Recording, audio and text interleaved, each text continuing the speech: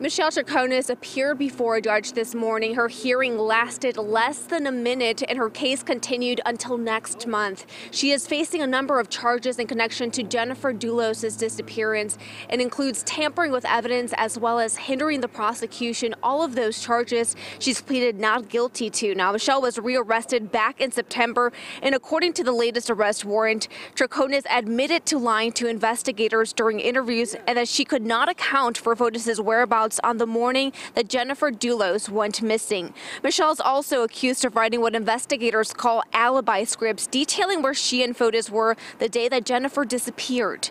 Police believe Fotis used his employee's truck to drive to New Canaan and at some point Jennifer's body was inside that truck and police believed he used a number of items to clean up afterwards. And once again, Michelle Troconis is scheduled to be back here in court on January 31st. Reporting outside of Stamford Superior Court, Lisette Nunez, Fox 61 News.